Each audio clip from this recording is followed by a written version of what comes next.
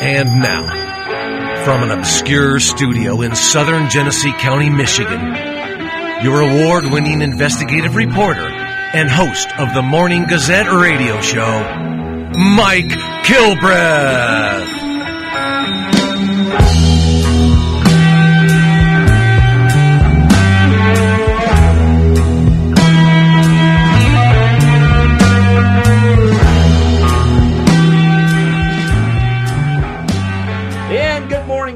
Out there in radio land or Facebook land or TV land if you're watching us on YouTube and snapping it to your big screen TV in your living room.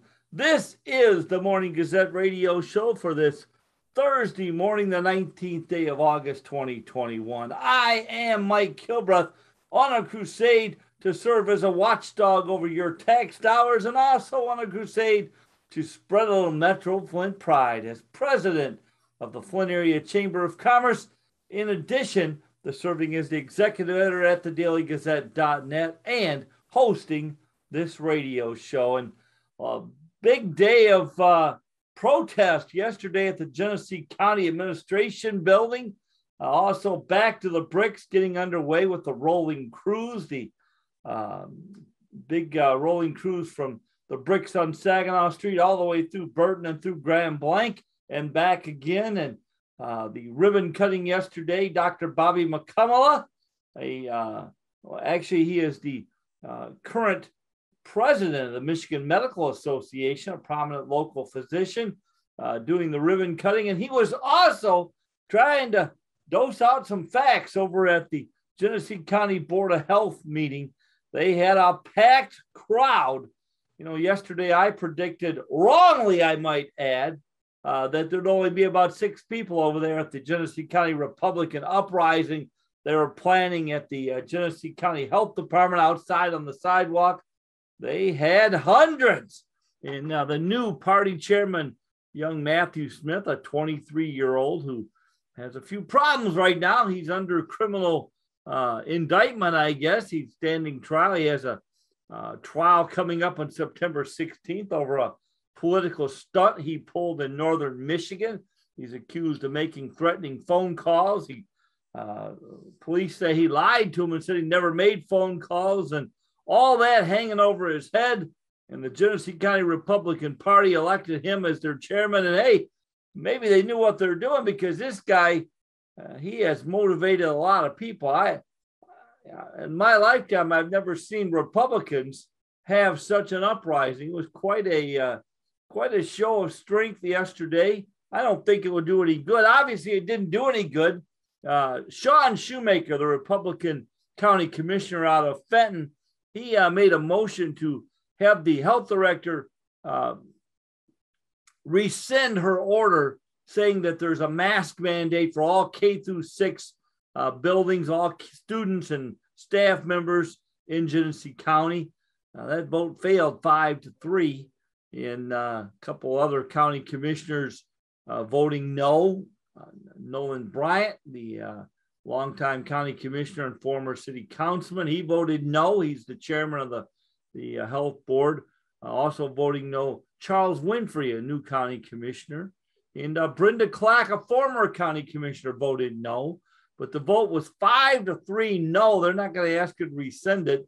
I don't know if the law would allow uh, the the health board to make her rescind it because her uh, under the way I understand the law, her as Kaylee Blaney, the deputy uh, chief executive, told us yesterday on the Morning Gazette radio show that decree is law, and uh, you're going to have to have, wear a mask or face the penalties. I mean, they could they could uh, fine you, put you in jail, but you're going to wear the mask. That's the law in Genesee County for grades K through six. A whole lot of people upset about it. I guess they didn't watch our show yesterday or listen to our show. We had uh, some overwhelming evidence, some science for people that masks do work. They can say all day long they don't, but we we provided science. Everybody talks about science. We provided a little science, a lot of science. We also balanced it with uh, speeches on the floor of Congress. some of these people very upset about uh, government trying to make them wear masks for their own good. Is, that the idea? I mean, if we can stop the spread of COVID, let's stop it. But uh, one uh, alarming fact for me Kaylee Blaney yesterday, sitting in for the uh, chief executive for the health department, Dr. Hackert, who uh, didn't come on our show. Uh, Kaylee Blaney did, and she's the spokesman.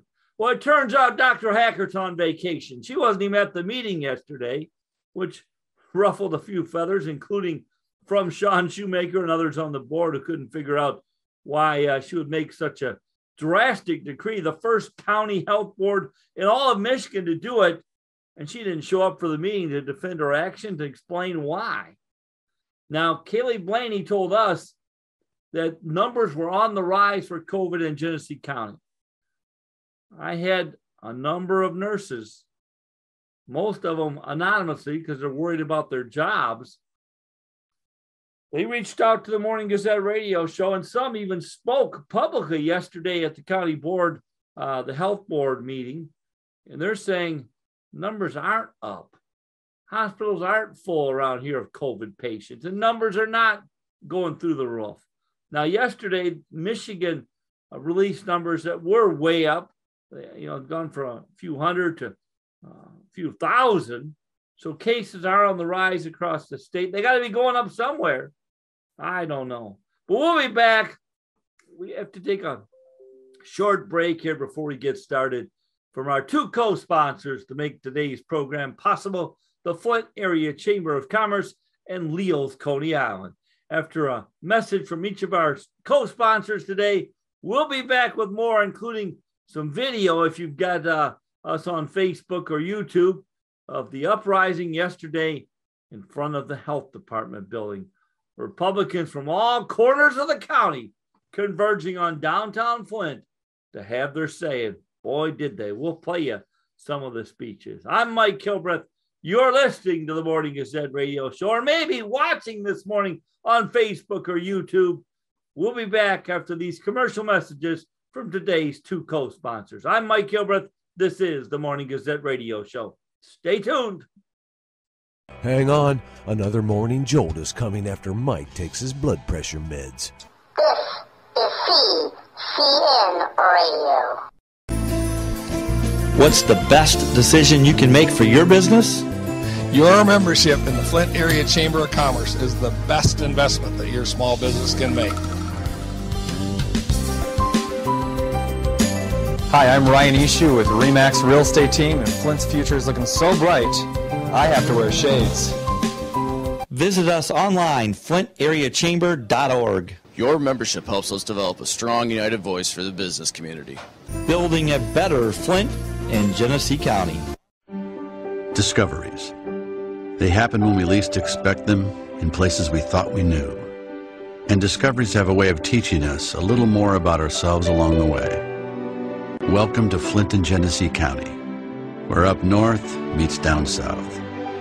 Home to Michigan's largest county park system and a vibrant culture. A place filled with discoveries we've yet to make throughout acres of beautiful lakes, wetlands, and woods, and in the diverse city beyond. Air, where the work of renowned artists color the galleries and museums, where the fresh fruits and vegetables at the downtown farmers market awaken our senses, and where the cultural center and planetarium broaden our view of the world. Let's spend a few days enjoying the wonders of Flint and Genesee County, where the joy of discovery is pure Michigan. Your trip begins at Michigan.org. For great food and friendly service, it's Leo's Coney Island. It's never too late for breakfast or too early for lunch. We're open 6 a.m. to 10 p.m. every day. Enjoy our full family menu of delicious Greek and American favorites. From soups, salads, pitas and wraps, to conies, burgers, fries, and our famous Greek specialties, chicken kebabs and Greek salads. Leo's Coney Island. I'm Mike Kilbreth. There are 67 Leo's locations around Michigan, a half dozen in the Metro Flint area. My favorite is on Miller Road in Flint Township. Stop by and have two conies today. Your choice of Flint style or Detroit style. The Miller Road location is newly remodeled, and the same owners there have opened a brand new restaurant out in Clio. It's fast, friendly service, and people, well, they just can't get enough of Leo's.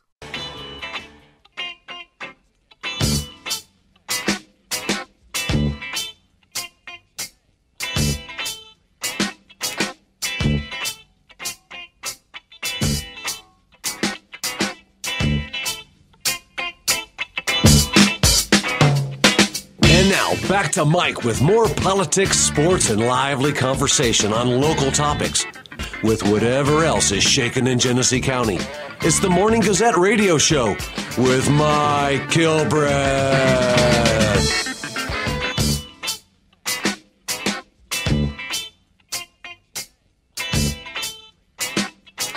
And we're back here on the Morning Gazette radio show. I am Mike Kilbreth, and we're going to get right to it. We got some video yesterday uh, of the uh, uprising in downtown Flint that we mentioned in the open, and we're going to get right to it.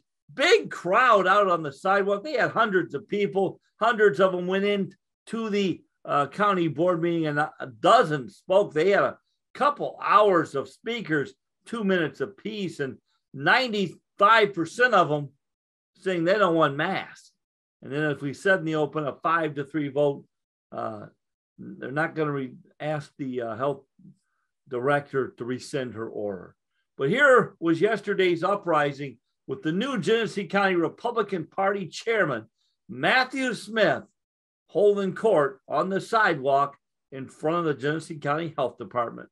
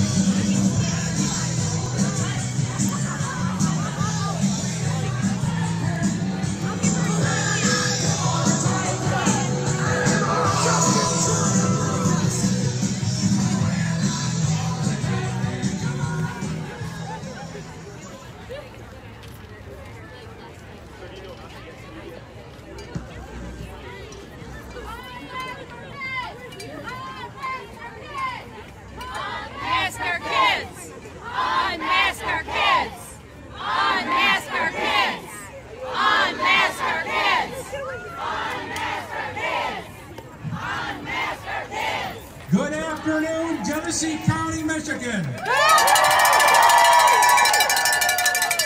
Yes, we are here to unmask our kids. My name is Matt Smith. I'm the chairman of the Genesee County Republican Party and an elected member of the Davison Board of Education.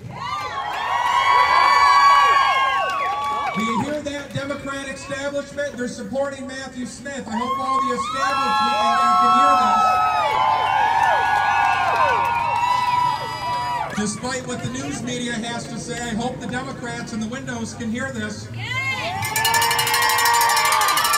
I want to thank each and every one of you for gathering here today for a peaceful protest of the recent mask mandate of our children in Genesee County schools. I want to make it very clear. We are all here to be civil, respectful of one another, and protest peacefully. We are here because we care about our children and how this virus is impacting education. At this time, I would like to call up Morgan Jackson to lead us in the national anthem because we're patriots.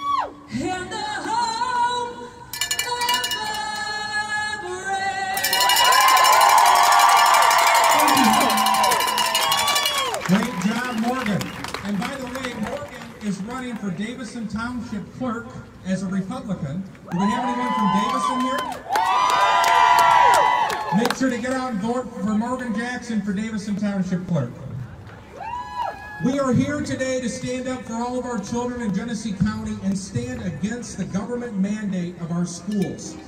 The simple fact is, Dr. Dr. Hackert made the decision to enforce this mask mandate just after telling us she will leave it up to the local districts to decide. In Davison, we were ready to begin the school year as normal. We alerted our parents that masks were optional. And just three days before we started school this past week, this mandate was thrown on us. And here we are today. The message today is real simple. Masks should be optional for students in Genesee County, and you, the parents, should be in control of your children's educational experience. Now, I will say this, because we've got the media in attendance, and I want to make sure I'm politically correct. No, not really. For those that want to wear masks, you have that right. We stand with you. But for those who want to send their kids to school without a mask, give them a choice. Dr. Hackert, can you hear me? Let the parents decide. Dr. Just put in an email August 5th regarding the masks, and I quote, It is circumstances such as yours that I left this ultimately decision to your school district. She said that to me. Yes, exactly. Oh, you, yes. She emailed me directly. Very good. Up to the, Up to the up to the school. parents and individual school districts. Now, my, my question here today, as we stand at the Genesee County Administration Building, is what has changed in a week? Other than the fact that it's my understanding that Dr. Hackert is currently on vacation when my students in Davison are starting their first year dealing with this mask mandate this week, and she's on vacation. I'll, we'll find out when we go to the Board of Health meeting at 1.30 if she's on vacation. Yeah, just like the president. we, the school board members, were elected to represent the kids and you, the voters. Now the government is stepping in and taking that power away from you, the people, who you elected. In other words, silencing your voice. I ask respectfully, Dr. Hackert and the Genesee County Board of Health, we're calling on you right now, Dr. Hackert and the Genesee County Board of Health, from one board member to another. Please let the local school districts decide what is best for our community. Masks are just the beginning of government overreach, and it is finally time we all take a stand for Genesee County.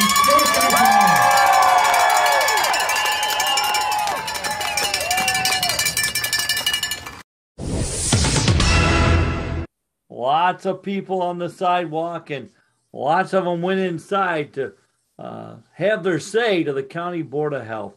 We'll be back with more here on the Morning Gazette Radio Show. I am Mike Kilbreth. Stay tuned. Hang on, another morning jolt is coming after Mike takes his blood pressure meds. This is CCN Radio. It's me, your heart. High blood pressure is serious, and I can quit whenever I want. Just treat me better. After all, we're in this together. To get your high blood pressure to a healthy range, visit heart.org slash blood pressure. A message from the American Heart Association and the Ad Council. Attorney at law F. Anthony Lupkin. He has clients all over Michigan. He has co-counseled with the former law partner of Johnnie Cochran of O.J. Simpson fame. Lupkin also does work for the nationally renowned Thomas More Society of Chicago, which is the leading organization in fighting for pro-life issues. In fact, Lupkin was the lead counsel in an Oakland County case that made national news. Lupkin is available 24-7 by telephone at 248-496 5222. Call and wake him up tonight. Anthony Lupkin will spring into action for you. 248 496 5222. Reasonable rates. Never a big upfront fee. Carrying beyond the courtroom for more than 30 years. Hey, do you need help setting up a website, using internet tools, creating a Facebook page? Contact the eToday team, your e commerce specialist. Call 810 347 9803 today. That's 810 347 9803. For great food and friendly service, it's Leo's Coney Island. It's never too late for breakfast or too early for lunch. We're open 6 a.m. to 10 p.m. every day. Enjoy our full family menu of delicious Greek and American favorites. From soups, salads, pitas and wraps, to conies, burgers, fries, and our famous Greek specialties, chicken kebabs and Greek salads. Leo's Coney Island. I'm Mike Kilbreth. There are 67 Leo's locations around Michigan, a half dozen in the Metro Flint area. My favorite is on Miller Road in Flint Township. Stop by and have two conies today. Your choice of Flint style or Detroit style. The Miller Road location is newly remodeled, and the same owners there have opened a brand new restaurant out in Clio. It's fast, friendly service, and people, well, they just can't get enough of Leo's. Never met George Armani. I don't know Ralph Lauren. Ann Taylor, Donna Karan.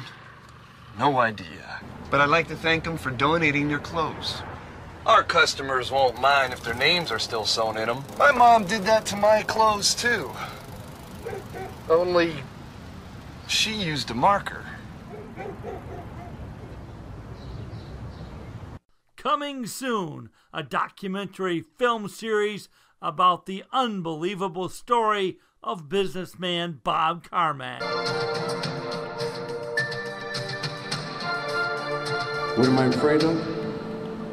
The mayor of Detroit. In terms of what? I'd rather not say anything more. Now, I reached Bob Carmack by phone today. He had no comment on these charges, neither did his attorney. You're worried about going to prison in this case. We're not right? talking anymore about it, and thank you. We're done. Thank you. Let me tell you this. David Leyton knows Mike Duggan. David Leyton ran for attorney general.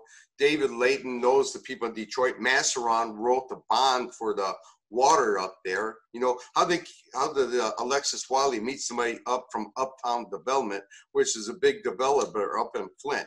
These people are uh, associated through the through the Democrat Party. They all know each other one way or another. And what they do is they're stealing money from Detroit to Flint to the whole state. It's like a mafia that is going around just stealing tax dollars. You cannot abuse your authority. It's almost like, you know, some kind of deep state conspiracy, right? And I'm so far removed from conspiracies. It's so outrageous. Okay, gotta go. Coming soon, a documentary film series about the unbelievable story of businessman Bob Carmack.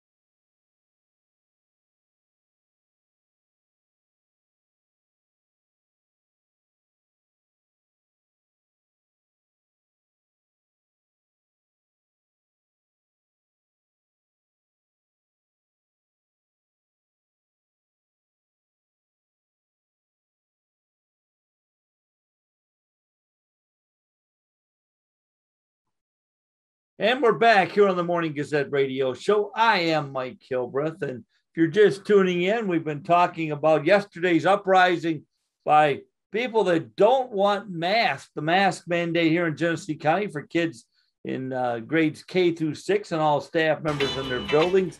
A whole lot of speakers yesterday, a couple hours worth of speakers at two minutes apiece opposing the mask mandate. And we gave you some science yesterday. Uh, Dr. Bobby Mukkamala, who is the chief uh, medical uh, president. And now back to Mike with more politics, sports, and lively conversation on local topics with whatever else is shaking in Genesee County. It's the Morning Gazette radio show with Mike Kilbreth.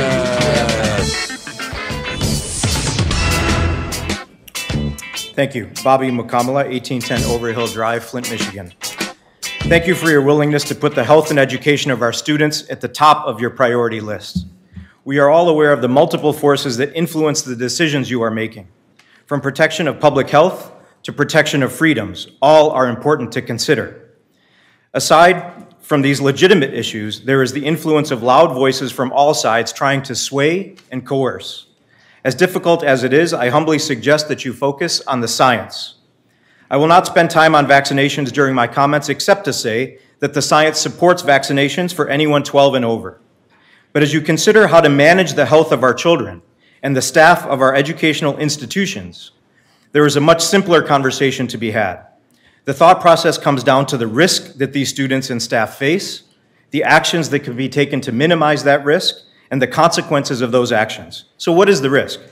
On the 4th of July, we had seven day average case counts of 183 in Michigan. Yesterday, that number was 1,551 and trending up. Students will undoubtedly be exposed to COVID in high numbers, and inevitably, many will test positive. It is already happening, and the quarantining has begun.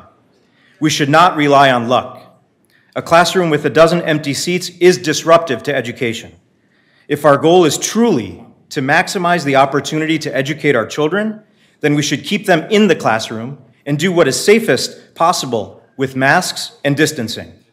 There is much that is still unknown about what is ahead with COVID. What happens after Delta? Will Lambda be something to worry about? We don't know. What we do know is that the less virus that Johnny inhales from Mary when she sneezes, the better.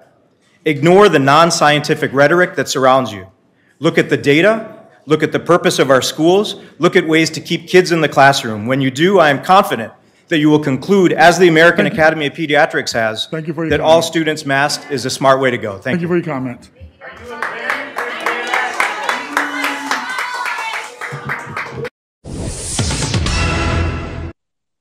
We have to take a little time out for the CCN news break. We'll be back with more with a lot of speakers from yesterday here on the Morning Gazette radio show after the CCN news break. Hang on, another morning jolt is coming after Mike takes his blood pressure med. It's time for the CCN News Update. Here are the latest headlines at this hour from the CCN News Center. This is VOA News, reporting by remote. I'm Joe Ramsey. Flag waving protesters took to several Afghan cities on Thursday, and a witness said several people were killed when Taliban fighters fighters fired on the crowd. In a popular opposition to the militants since they seized the capital, Taliban fighters fired at protesters a day earlier, killing three, according to witnesses and media reports. The crackdown on protests are raising new doubts about Taliban assurances that have, they've changed since their 1996 to 2001 rule when they severely restricted women, staged public executions, and blew up ancient Buddhist statues. While Kabul has been generally calm since Taliban forces entered on Sunday, the airport has been in chaos as people rushed for a way out of the country. A NATO and Taliban officials say 12 people have been killed in and around the airport. The United States and other Western powers are pressing on with the evacuation of their nationals and some of their Afghan staff from the capital's airport, from where about 8,000 people have been flown out since Sunday, according to a security official. This CCN news break is sponsored by the Flint Area Chamber of Commerce, the best investment your small business can make. Go to flintareachamber.org for information about membership. What's the best decision you can make for your business? Your membership in the Flint Area Chamber of Commerce is the best investment that your small business can make. Hi, I'm Ryan Ishu with Remax Real Estate Team, and Flint's future is looking so bright, I have to wear shades.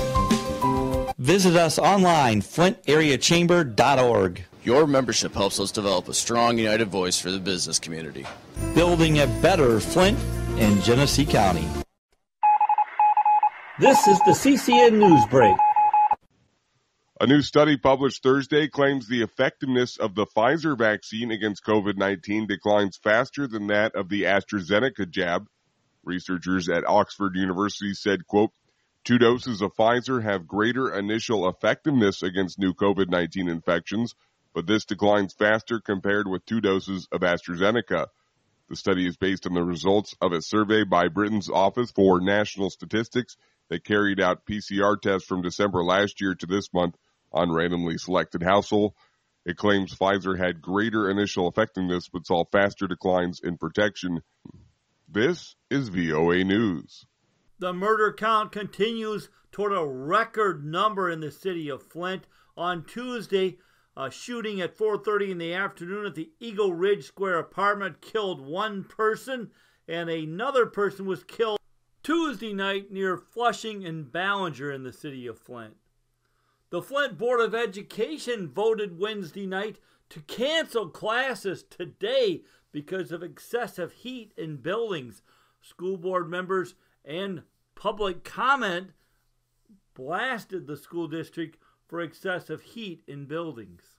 No classes are scheduled for Friday. Classes will resume on Monday. Our top statewide headline yesterday COVID cases up to 2,960 on Wednesday. Turning to sports news, the Detroit Tigers were beaten 3 to 1 last night at Comerica Park. They go again today at 110 at Comerica against the Los Angeles Angels.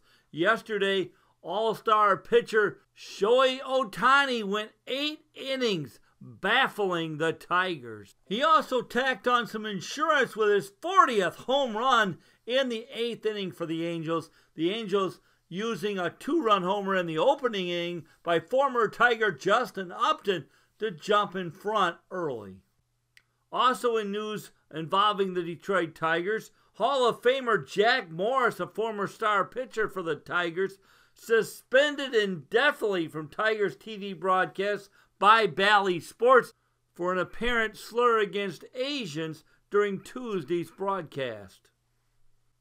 Good news for the Detroit Pistons. rookies Cade Cunningham and Luka Garza named to the All Summer League second team out in Las Vegas. You've been listening to the CCN News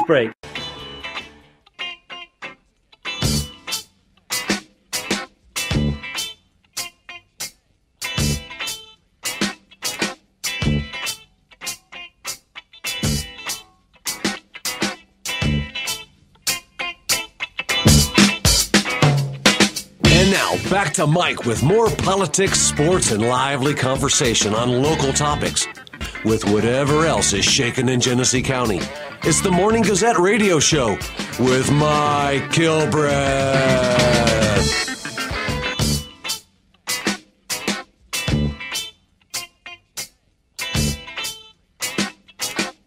And we're back here on the Morning Gazette radio show. I am Mike Kilbreth. And in this segment, we're going to uh, play a lot of uh, comments that were uh, voiced yesterday at the Genesee County Board of Health meeting. And uh, we're going to start with Matthew Smith, the new Republican Party chairman for Genesee County, who organized this uprising, as I keep calling it. A whole lot of people upset about the mask mandate.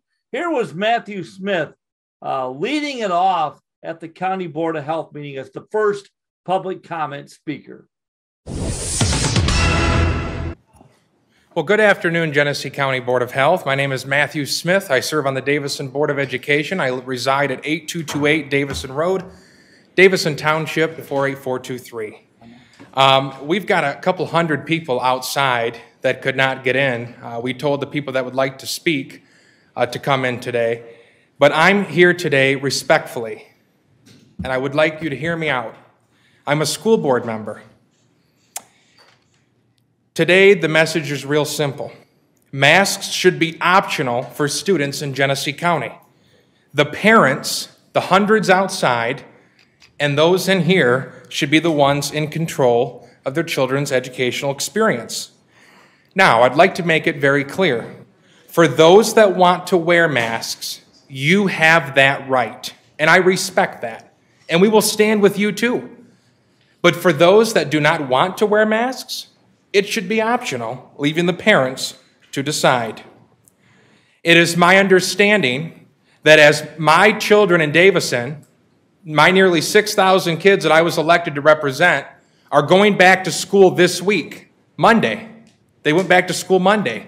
As they are going back to school dealing with this mandate, it's my understanding, and you can correct me if I'm wrong, that the doctor that issued this mandate is on vacation. That's wrong. As my kids are in 48423 Davison right now, dealing with this mask mandate, crying, my inbox is blowing up. The doctor, Dr. Pamela, is on vacation as we speak when she should be at this meeting to answer questions of the Davison constituents and all of Genesee County. I respect the Board of Health and what you're doing, but we're in a little bit of a disagreement here. Masks should be optional. This is a government overreach. Let the parents decide. Let the parents of Genesee County have a voice. I was elected to be their voice. I'm here today to do just that. Come up, please. And I want you to listen to the parents today. Thank you so much, uh, Chair uh, Beebe, for the, allowing me to speak. Okay. Let the parents decide. No mask mandate. Thank you. Thank you, sir.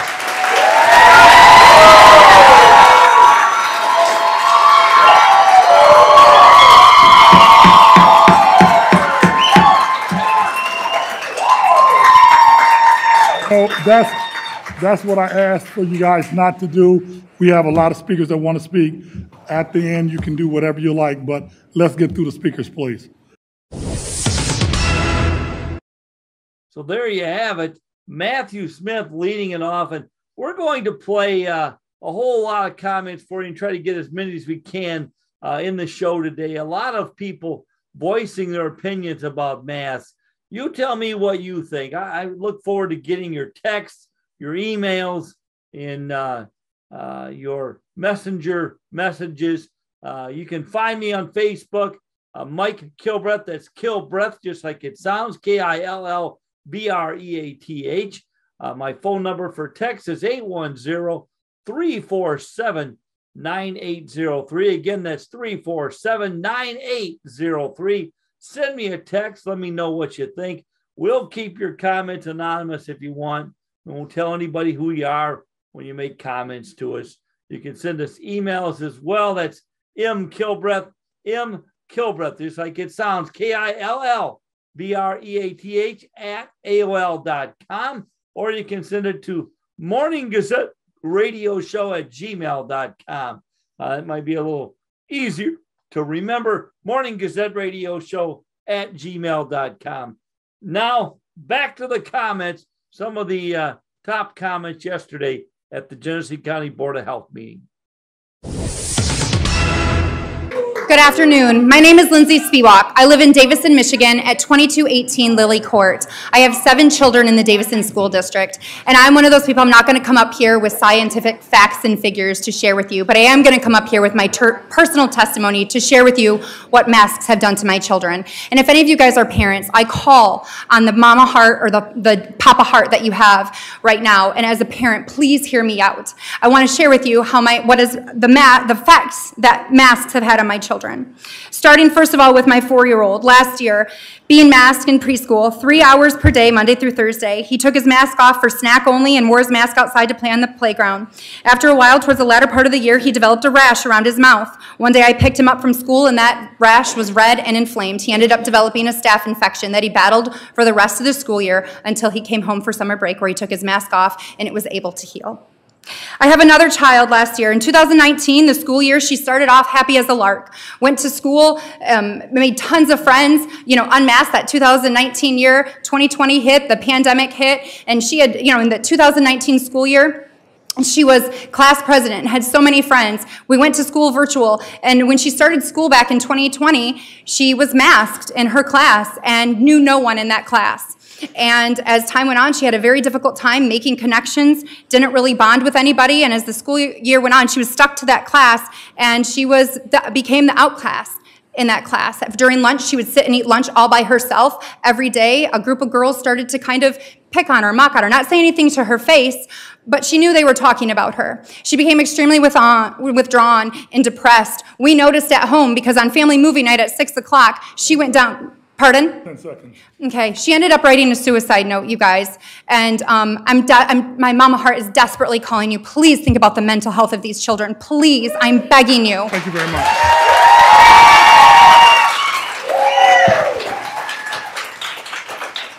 My name is Elaine. My name is Elaine Thompson. I am from Grand Blanc, Michigan. I don't have a prepared statement, but I am looking at you and to our medical um, personnel, including you, Dr. McCullough. We have in the VAERS, this mask mandate is only leading to more vaccination push. In the VAERS database, there are over 12,000 dead people in the United States alone who have died from this vaccination. Why are we not talking about that? Why are we not talking about in the hospitals all of the damage, the heart attacks of young people, myocarditis, when we accept this mask mandate and we continue to accept these so called social um, policies, we are also giving up our freedoms, our future freedoms for our children. When are you doctors going to speak the truth about what's happening in your hospitals? When are you going to talk about the clots and the heart attacks and the deaths? Last year, everything was COVID. This year, nothing's the vaccine. Why? We need to stop this madness. We need you to look at the VAERS database. We need you to listen to the other health professionals who are saying this vaccine should stop. And if we continue with the masks, they said, oh, when we're done with, we'll be done with the masks when we can get more children vaccinated. That is the agenda here, ladies and gentlemen. We have got to stop. And I am, I am a faithful Christian and it's against my beliefs. And I don't care what a pope says because he brought, an, he brought a pagan goddess into the Vatican. So right now, don't even try to put that one on us. 10, 10 seconds. Thank you. Amy Facchinello, Grand Blanc, Michigan. I come here today as a representative of the Genesee County Republican Party, a concerned parent, and yes, I do sit on a school board. One of the largest school boards in Michigan. I'm coming here today because I came to your July 21st meeting and I sat through a presentation about why it's important to wear masks and social distance. And that entire presentation was based on zero science. It was nothing more than the rendering by a graphic artist. It was a computer simulation, not based on any scientific study without any scientific data whatsoever. The people of this community and the children that you serve have been through enough. We've already been through the Flint water crisis. Do you really want to be the people that are inflicting psychological damage onto these children that have already suffered this lead poisoning? If you really want to do something about health in this county, why not um, push for the hospitals and the doctors to use a protocol that actually works? There is a protocol out there that has worked in other countries around the world that involves ivermectin and quercetin and zinc. It, it works before you have to go into the hospital. It keeps people healthy. Promote a healthy lifestyle. Instead, we have a local doctor who is on his social media page setting up what looks like a lemonade stand with a homemade sign, giving jabs in his in his driveway out of a U-Haul truck. 10 seconds.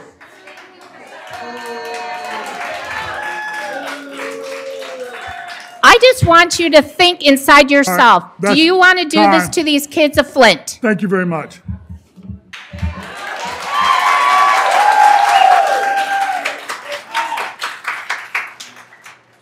My name is Tanya Prim. I'm a resident of Genesee County. I had some prepared uh, notes, and then I heard the doctor say that if we don't have masks, kids will be quarantined and kept out of school for longer. And so I had to change what I was going to say. I actually did the data and did the math on the kids staying out of school. Let's pretend, let's be very generous and pretend that these tests have only a 1% failure rate or false positive rate, which we know, we won't even talk about what it is, but 1% is pristine. There's not a test out there. There's not a medical test out there that's like that. So let's pretend it's only a 1% false positive rate. Based on the number of tests that were given during, a, during last spring when they were testing all the athletes over and over again because the governor said that the, that the children were going to spread. Based on that, if only 1% of them were false positives, by the time you take the people who tested um, positive and all of their contacts, averaging nine other contacts, so 10 people per test, and um, assuming that they are all being quarantined for 14 days, by the time you get done with the first 14 day period, there are tens of thousands of people being kept out of society based on false positives. Tens of thousands. That's the, that's the math. You can do it yourself. Go, uh, go back and look at the data. So, if there are tens of thousands of people being kept from society, 10 seconds. How does that make sense that we need to put masks on kids and keep kids masked up in school? Thank you.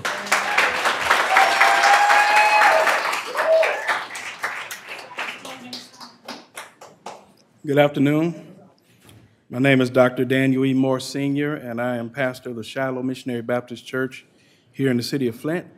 I am not a medical doctor, I am a theologian, but I am in full support of the K through 12 mask, date, mask mandate. As a parent, as a parent, K through 6, yes. As a parent, I love my children like everyone else but I also realize that we must be concerned about the health and well being of all children. As a faith leader in this community, I'm asking those who are opposed to this mandate to consider the children, all children. Children across the county are getting sick, children across the country are getting sick. Some of them are developing long lasting health issues, and sadly, some of them have died. As a pastor, I have walked through the pediatrics wards and I have seen children on oxygen struggling to live from various illnesses, and it is heart wrenching. The mask mandate is not political. It is not a violation of rights, privileges, personal choice, or personal freedom. The mask mandate is a weapon that will help protect our children against the worst public health crisis in our lifetime. The coronavirus can only be contained through vaccines and practical precautions like social distancing and mask wearing. Our children are vulnerable and at risk. At present, K through 6 children fall into the category of vaccine ineligibility. They don't have a choice. And if this mask mandate is not implemented and strictly enforced in our school systems, not only will our children not have a choice, many of them may not even have a chance. Thank you. Thank you.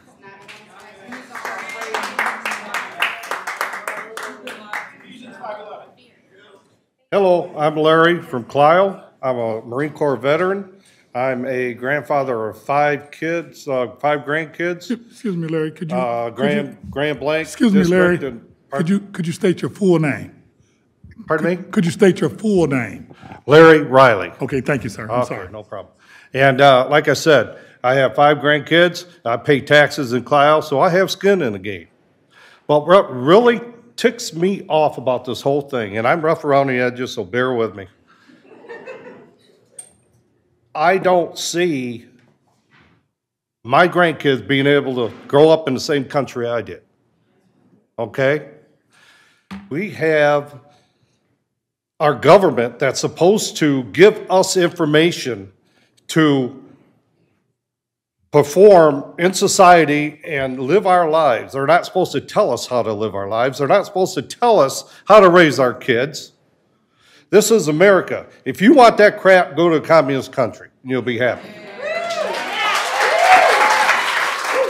And another thing, there's no amount of money that's worth our freedom, that we're taking away from our freedom, is what I'm trying to say. So, I never voted for the CDC. Anybody in the CDC, I don't even know who they are. I didn't vote for them. So why should I? I can go by their recommendations. If you want to wear a damn or a darn, excuse me, a darn mask, go ahead and wear one. I'll be the first one in line to defend that right to do so. But don't be telling me how to do it. I, I, I just get so upset because as, as I, I'm 60 years old, I heard all the time, so I could have got COVID and don't even know it, you know? But I, I never caught it as far as I know.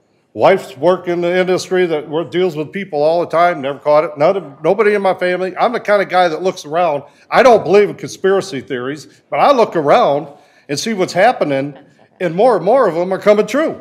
10 seconds. More and more of our rights are taken away from us because we want to depend on the government. And I'm telling you what, you young people, don't depend on the government Thank you for your because we're going to end up Time- another Venezuela. Time up. Thank you.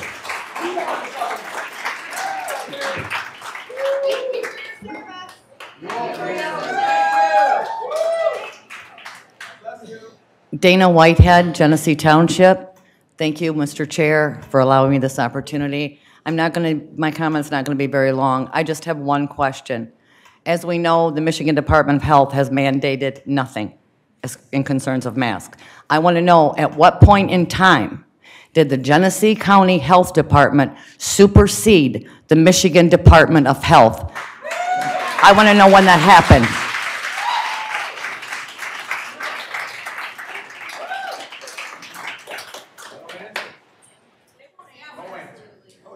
My name is Jason Lee, Flint, Michigan. I have three daughters that attend Kearsley District. Two of them attend Armstrong Middle School this year. One is going in the sixth grade and being forced to wear a mask. One is in seventh grade but does not have to wear a mask. My daughter, who is being forced to wear a mask in the same school that her older sister does not have to wear one, keeps asking how is it fair that she has to wear one and not her sister. She and my youngest, who is also forced to wear a mask, are now fearful, thinking that they're more apt to getting the COVID than their older sister. So if we give in and we don't stand up, what's next? Forcing them to get vaccinated without our consent? What happens to these school addictions when we start pulling out our children and start having them homeschooled? Your government funding depends on us sending our children to your school. You are doing nothing but striking fear into our children and forcing them to wear these masks. My children have parents, you are not them. Please leave the parenting to these parents. Give them a choice to wear a mask or not. How's that too much to ask for? Thank you. Thank you, very much. Next up, My name is April Delore, and I live in Grand Blanc, Michigan. Um, I'm just here to say that anybody who's ever been to a doctor with an illness that they never knew what it was and they've came back, the doctor will say, I'm not really sure what's wrong with you. It's probably a virus and you'll have to let it run its course. We have never worn a mask because of a virus. We've always been told it has to run its course. How is this virus any different? We have the flu virus that kills people, but apparently last year it didn't kill anybody. This year we have COVID that's just killing everybody, apparently. Nothing else is.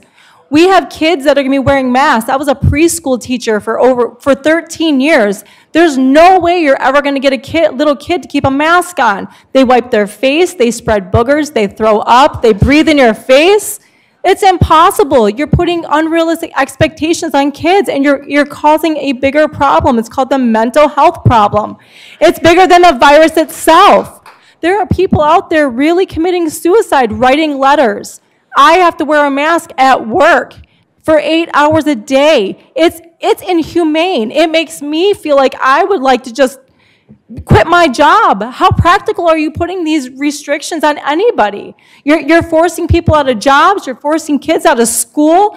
And I'm going to say to all these parents here today if you don't get what you want from this board or any other board, you need to do a mass exit with your kids in these schools.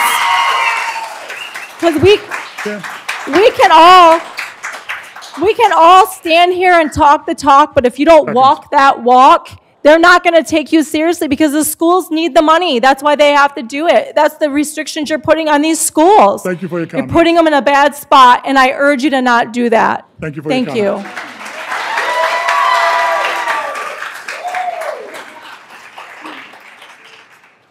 Hello, my name is Tony St. John. I am from Grand Blanc.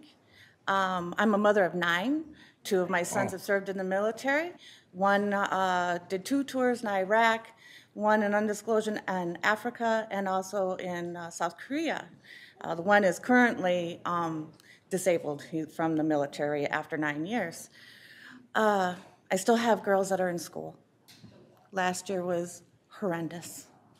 I know three teenagers that committed suicide, and my daughter was almost one. It was, I'm sorry, this is very emotional. It was very hard. I had to sleep in her room after we stripped it out on a mattress out at night, touching her to make sure she was still okay, praying for her. This went on for months and months and months. The social anxiety that she had just grew more and more, not being able to see faces, not knowing if they're looking at her or what they're thinking. It was horrible. She did 10 days in a clinic. She's now on antidepressants and mood stabilizers.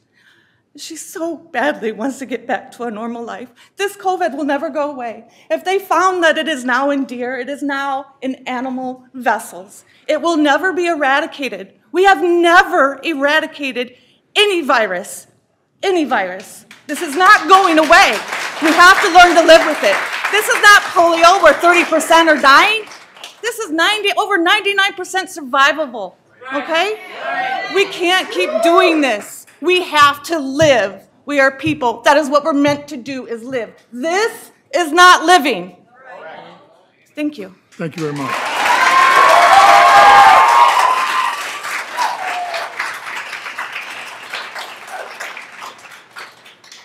Hi. My name is Naomi Vick. I'm from Davison, Michigan. I have three girls. I'm very emotional about this. I have I have three girls in Davison schools. My youngest is eight years old, and she has hearing loss. Because of inconclusive testing for three years, we learned she had some sort of hearing loss at two years old. Because of inconclusive testing for three years, she did not receive hearing aids and, or receive the proper testing until she was five years old. Just after her sixth birthday, she got her hearing aids. Because of all of that time without the proper resources that she needed. She learned to rely on lip reading, facial cues, and she was the most expressive child I have ever seen. Because she did not have that core foundation, when we learn to speak, we learn to speak at two and three and four years old, and our communication just grows and grows. She did not have the opportunity for that, so she got the, her hearing aids when she was six years old. The next school year, she did kindergarten twice, and the next school, she was in speech therapy. The next school year was cut short because of COVID. She went to her next, the last school year, she was in first grade, and everyone was at school in masks.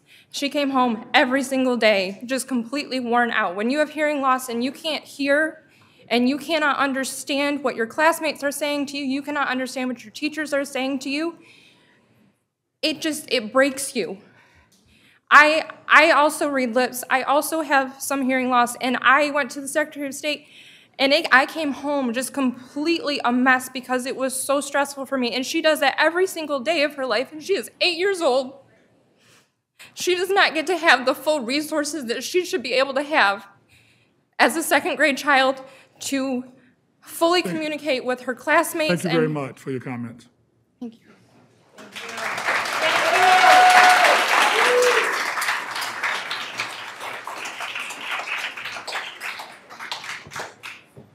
Good afternoon. My name is Jane West, and I'm a licensed clinical master social worker from Grand Blanc. I'm employed as a child and family therapist at Voices for Children Advocacy Center and the mother of a sixth grader. I'm here today to share my support for your decision to mandate masks for children grades K through 6th from my perspective as a child mental health professional. My support rests on two primary facts. Masks help protect children from COVID 19 and the simple act of wearing a mask in and of itself is highly unlikely to be damaging to any given child's mental health. I believe Uh, enough excuse me. science has already been shared to demonstrate the effectiveness of masks in helping to reduce the chance of COVID 19 infection. Therefore, I'm not going to belabor that point. Instead, I'll focus in my area of expertise, which is children's mental health. I continue to hear the concern that our children's mental health at large is being put at risk when they are required to wear masks. The typical negative implications are that masks are simply unnatural, that they impede the ability for children to fully express themselves via facial gestures, or that they are a reminder of potential danger, which may cause anxiety and fear. While I agree that masks certainly have become the symbol of these sentiments for many of us, masks in and of themselves are not the cause of these issues. The best thing that we can do for our children's mental health is not to fight against every mask mandate, but rather to help our children with expressing themselves and feeling comfortable with or without them. This is not so much about where the COVID 19 numbers or local or national rules are at, on, on any given day, but about how caregivers respond to their children. 10 seconds. If families can create an atmosphere within their chil- within which their children feel that their voices are heard and respected, and see their families and communities working together to keep them safe, their mental Thank you for your comments. Hey, hey, you know what? Hey, guys, we're giving everybody respect in here. Other people are talking. Please give this person the same respect. Hello, I'm uh, Bruce Foltz from Davison. The so-called experts told us we got to flatten the curve. Remember that? A Year and a half later, here we are. These same experts also told us trust the science. That is until you show them the science. The science is that kids from 1 to 20 have a survival rate of 99.9. You got a better chance you got a better chance of getting hit by lightning or a train out here than you do catching this crap.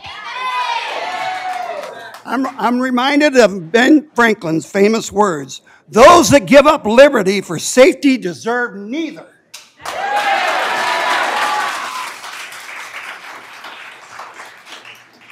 I find it interesting that the person that cowardly made this last minute decision to put on our kids is not here.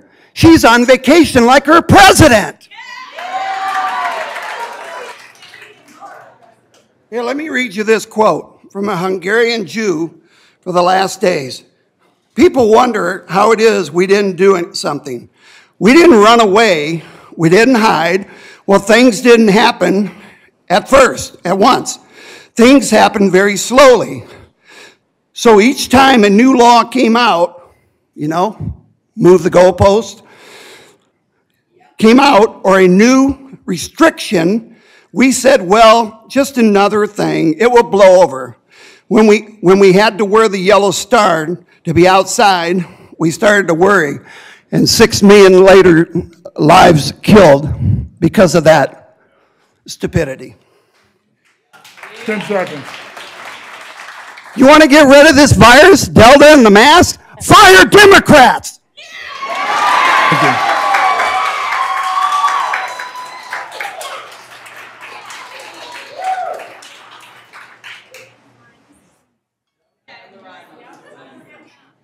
I'm Derek Dahl, Davison, Michigan.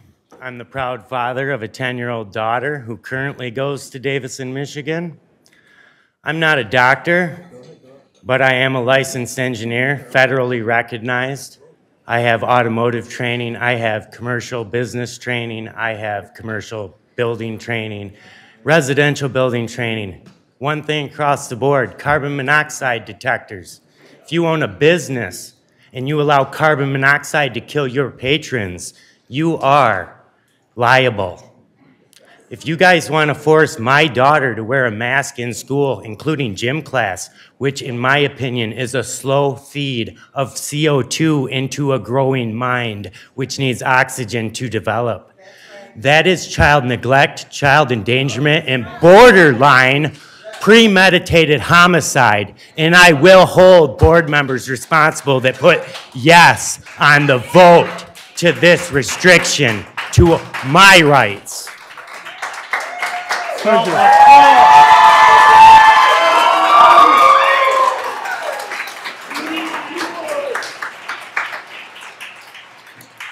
My name is Jennifer Craven. I live in Burton, Michigan. My children attend Davison schools. Um, I also have a child care center where masks were mandated for my young children to wear. I don't know if anybody has ever worked with children. They can't keep socks on. You want us to keep a mask on them. They lick gates, they lick toys. Guess what? None of them wore masks very often because they wouldn't stay on. They licked each other, they licked gates, they licked toys. I didn't have one COVID case in my daycare. Now, Mr. McCullough, Dr. McCullough comes up here and wants to discuss the disruption in class when the kids are out because they have COVID. That's great, Dr. McCullough, but have you ever sat in a school? Have you ever served on a PTO? Because I do, and I'm in that building as much as I can. I will say that there's more disruption for our teachers, for our students, for the staff, coming in and having to, to talk to these children about putting their masks up. Pull your mask over your nose, pull your mask on over here. They're there to teach our kids. They're not there to tell them to put a mask on. Our admin is, is working diligently currently to make sure that everything is set in place. But guess what? That's not their job either. They should be there running our schools. They should be there worrying about our kids, not whether or not they have a mask on. That's up to us. Those are our children and our parent, uh, the parents' choices. I've had COVID. My children did not get it in an RV in Florida, sleeping in the same bed as me. Nobody but my husband and I caught it. My children are fine. They're safe. Maybe they did have it and I didn't know. And yes, we quarantined. But guess what? They've probably got the antibodies, such as a million other children in Michigan have. Let them live. Let them be free. Seconds. Let them see faces and enjoy life instead of being little criminals. Thank you.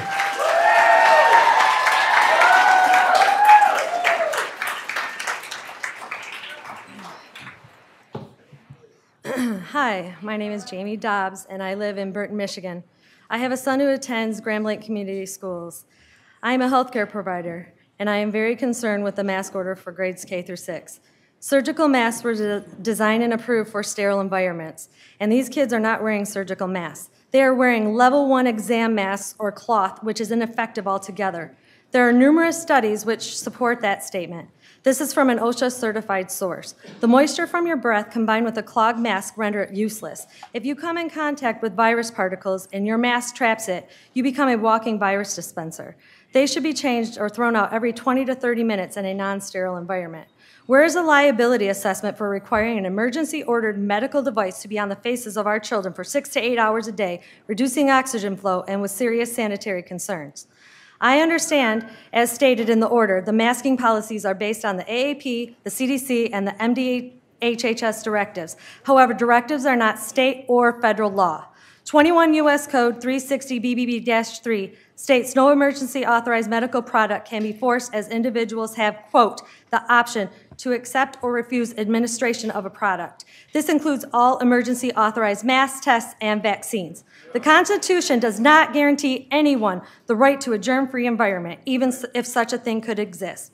I encourage you to do the right thing and allow parents to make their own risk assessments and individual choices for our children. And since I have a second, I'm going to click on michigan.gov and I'm going to go right to Region 3, COVID 19 metrics updated 8 16 2021. Hospital PEDS confirmed suspected cases, zero. Hospital PEDS confirmed, confirmed suspected Ten seconds. Ten, ten Confirmed seconds. suspected hospital bed zero. So please explain to us how masking our children makes any sense. Thank you for your Thank you for your comment.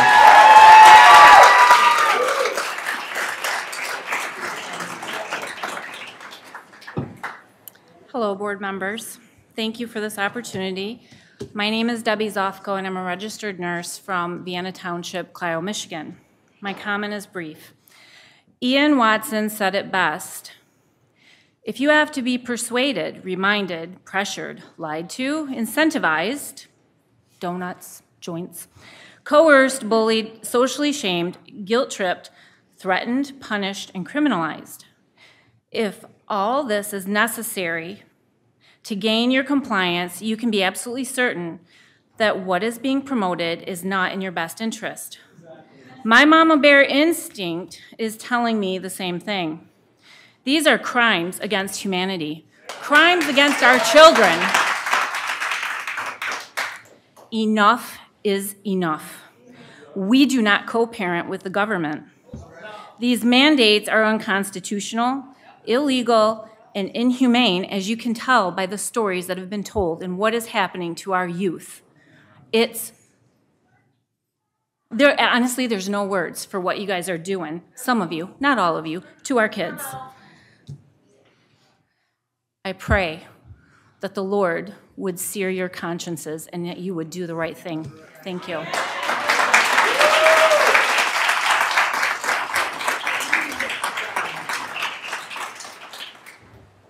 Hi, my name is Carly Lamb, and I am a resident in the city of Clio in Genesee County.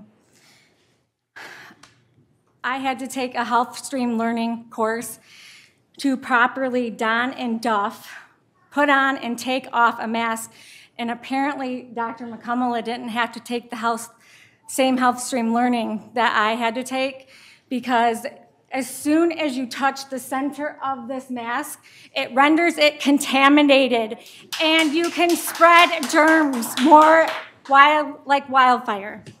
Anyways, back to my speech.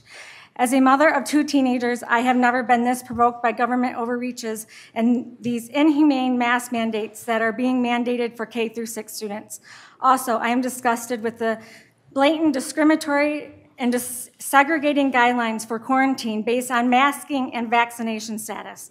As a critical care nurse with over 19 years' experience working on the front lines, I have never seen such chaotic, ever changing guidelines from the CDC, the NIH, and the WHO, not to mention the health departments across the state. It's impossible task just to keep up with all the daily and weekly changes to the guidelines. Why is there such a push for this experimental vaccine that has killed over 12,000 innocent lives, according to the VAERS, and over 45,000, according to the CDC whistleblower? This accounts for more deaths than any childhood vaccine combined over the last 10 years in just an eight month time span. I caution the Genesee County Health Department from going door to door and holding vaccination clinics at schools. I have witnessed countless adverse effects with my own eyes, including several vaccinated COVID deaths and numerous strokes, blood clots, and heart attacks. If the vaccines are as safe and effective as proclaimed, seconds. why are patients still being hospitalized with COVID and why are still dying? This is a virus where children had over a 99.9% recovery Time, rate. thank you.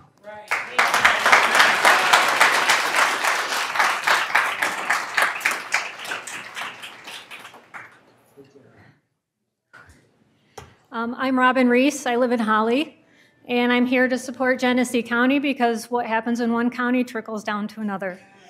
I have a son in college, a daughter that is a junior in high school, and I work as a school nurse.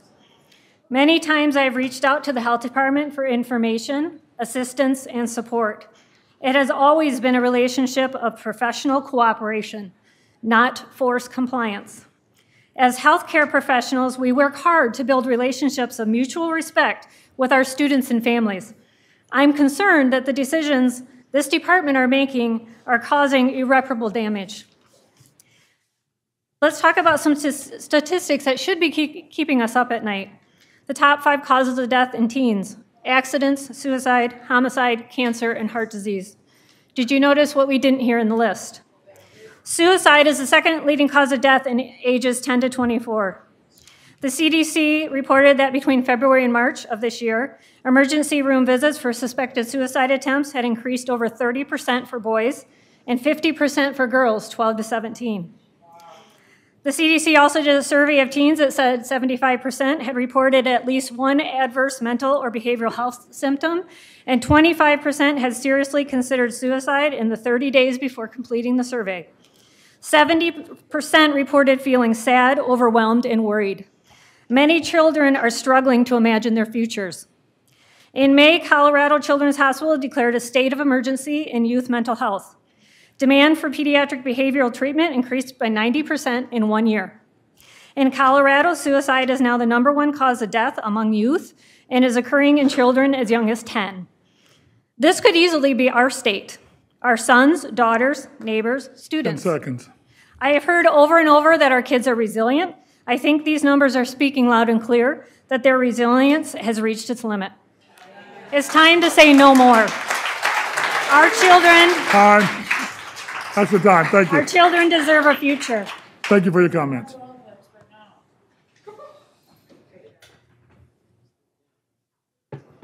Good afternoon. Thank you for the opportunity to speak to you today.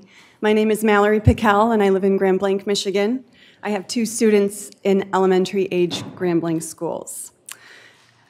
In the mandate, the health department provided the following data for ages 0 to 17. The overall percentage of recent cases, which is 12% of our population, and overall deceased cases, which is less than 1%. The problem I find with this is I wasn't able to find any data specific to this 5 to 11 year old age group, which the most recent mask mandate targets. None of the data speaks to hospitalizations or severity of those cases within that age group. And in the mandate itself, it states that the risk for this age group is low. Low risk doesn't equal no risk, is what you stated also following that indicating that no risk is the goal. No risk status is not only unreasonable, it's not possible. And by your own admission, the risk is low for these children. So I'm asking the Genesee County Health Department to lift the mandate and allow us as parents to do our own risk benefit analysis for our children. We're the ones who understand their needs. And just to give you an example, we've heard a lot about mental health today. My seven year old daughter last year, at times, she was a completely different person despondent, separated, um, depressed. I didn't recognize her. Um, for some parents, that is the health priority for their children, not wearing the mask. So please let us decide what's best for our children and prioritize their health the way that we see fit. I just want to add that there were exceptions to this mask seconds. mandate um, some for neurodiverse students who benefit from facial um, expressions and cues, but all children benefit from face to face communication and facial cues. That's the time, thank you.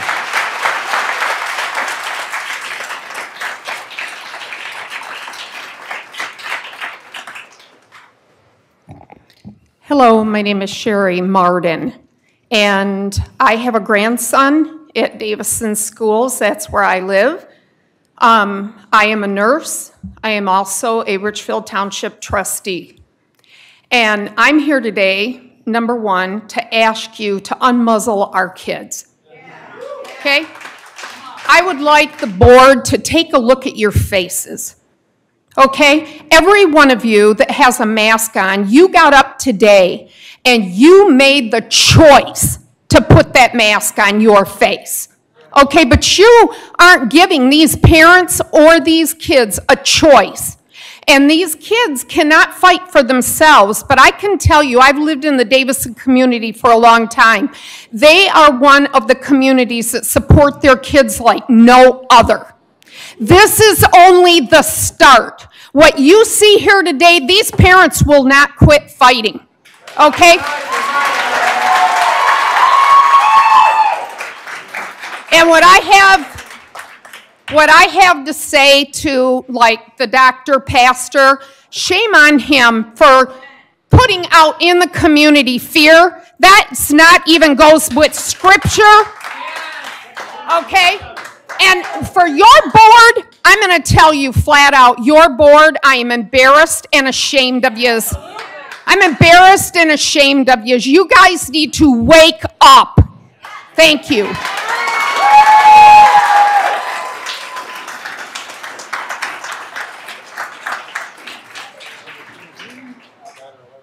She said, wake up, not be woke. Good afternoon. Uh, my name is Jeanette Fiebernitz. I live in Fenton Township, uh, Linden School Districts. Um, thank you for the opportunity to speak today. Um, I didn't prepare anything, but I think today you've heard from a lot of well-spoken, educated parents that have done the research and care for their children. And I work for a pharmaceutical company. There is no data on these masks. The masks that would maybe carry some benefit are N95 masks that are provided to our medical personnel. You've heard numerous stories today. I have one that I will share quickly. I have a friend that is a teacher. She has to take an hour out of their day to take the masks off the children because they are soaking wet with snot and spit and God knows what else, you know, kids are doing get on themselves.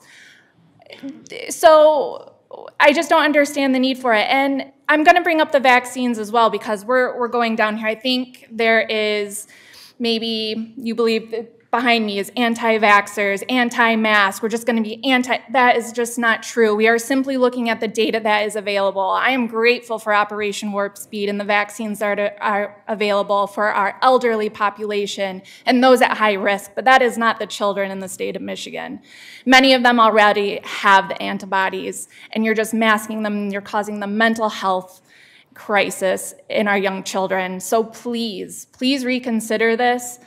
Please let it be up to the parents to decide for their children what they want to do. We will support your kids if you want to send them with masks, but the vaccines aren't even stopping the spread. You're vaccinated and you're spreading COVID. So the, you cannot vax and mask your way out from this pandemic. Eventually, it will become an endemic, hopefully after this Delta variant passes, but please leave this up to the parents. They know Thank their you. children. Thank, you. Thank you you. for your comment.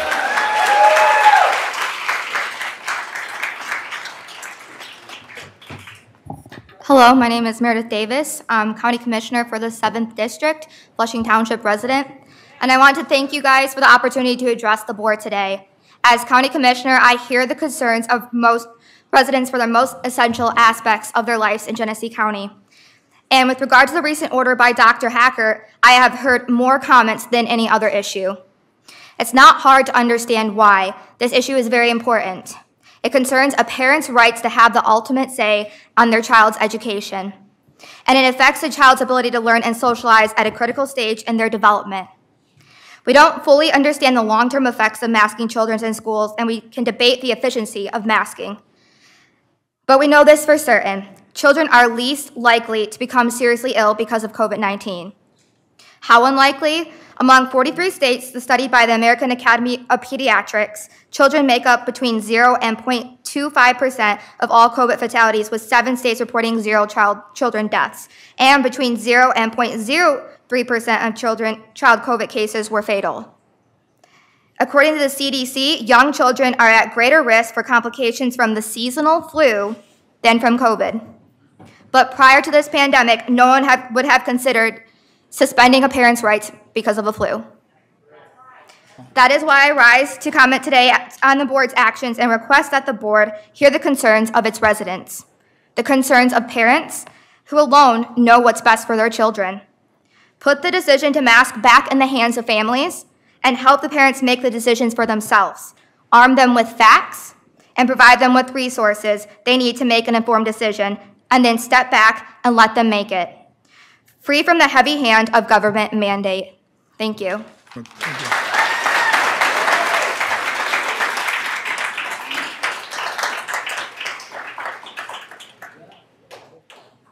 My name is Patty Eichhoff. I live in Davison Township. I have three kids who have graduated from Davison. I have 10 grandkids. Two of them have already graduated. The rest are attending now. My point I want to make is families making decisions. My grand, my daughter Lindsay is a breast cancer survivor. Together, our family made decisions that helped her get well. Eight years cancer-free this Thanksgiving. My, my granddaughter Electra, she graduated three years ago. She's vision and sight impaired, and yes, she could read lips at age, of, at age four. She got COVID. We were very concerned at first and scared because she's immune compromised. My husband called his friend who was a doctor, gave her some ivermectin. Within two days, she was totally symptom free except for um, taste and smell. Now, my grandson, my grandson Ashton goes to Davison. He got COVID last year. He had very mild symptoms, couldn't taste. My daughter and her husband made the decision not to have him treated. We are making the decisions. Electra's fine, my daughter's fine, Ashton's fine. So that's the point I want to make is we need to make our own decisions for our families. And one last thing, my grandson CJ, fifth grade last year, had a teacher telling the class that her husband was immune compromised and if he did, they didn't keep their masks on, they were putting his health at risk. CJ come home one day and off the bus and ran to his room. She had taken him out in the hall and told him her husband could die if he didn't keep his mask over his nose. Now the school, the school, you know, my daughter immediately went to the school. They, they handled the situation. But these things are happening, and it was crushing for him to think he was responsible for someone seconds. else's life. Thank you. Thank you.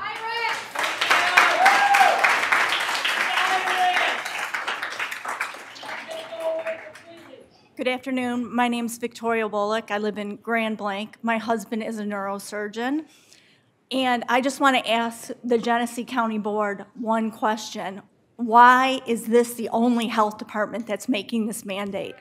I've looked at many places around Michigan, Oakland County, Washtenaw County, tons of them. None of them. They're leaving it up to so what's going on with this particular health department? That's what I want to know. And why is she not here to answer that question? That's what I want to know. And all of you, did you vote for this or was this a unanimous decision on her own? Because that's not how this works. I thought we lived in a democracy. So you take that to heart. All the other health departments, you're the only one. Flint, huge debacle with the water crisis. Let's see if we can match that one with this one. Thank you.